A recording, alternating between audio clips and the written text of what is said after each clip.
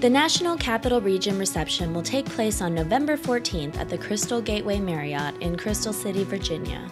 The Global SOF Foundation is looking forward to convening our DC based community, especially because we have a lot of corporate partners and organizations who are based in the region.